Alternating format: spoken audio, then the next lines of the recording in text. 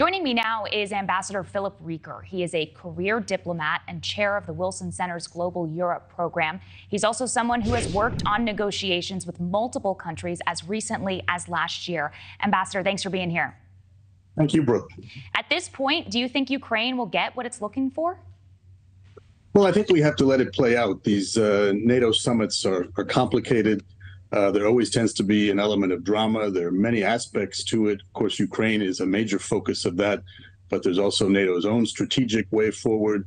Uh, Sweden, as your report mentioned, uh, has been given the green light. Turkey had been blocking that since they joined.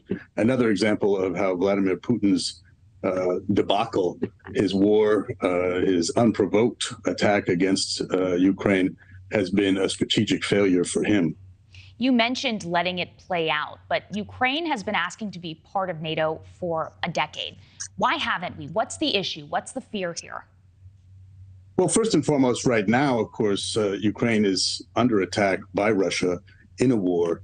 Uh, as the president has pointed out, for Ukraine to come and become a NATO member now, it would mean that all of the NATO allies would be technically uh, at war with Russia.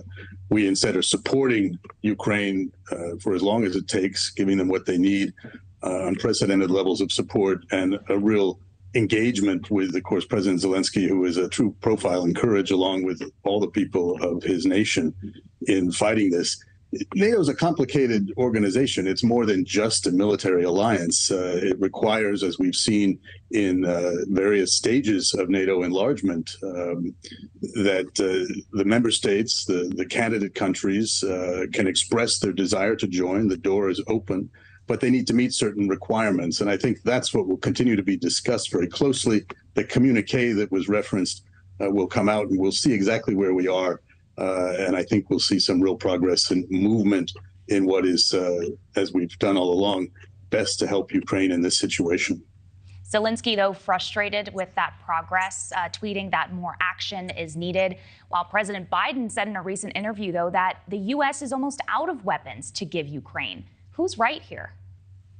Well, I don't think it's a question of, of right and wrong. Uh, Ukraine needs uh, armaments. We work incredibly hard to provide them with those along with so many other allies uh, who were able to contribute.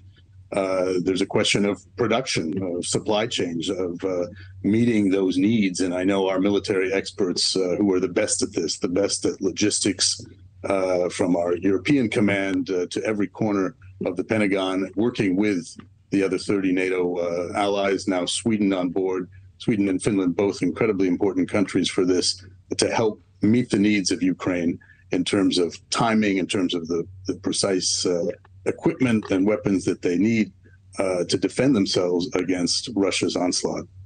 All right, we will see what happens with those conversations later this week. Ambassador Philip Reeker, thank you. Thank you.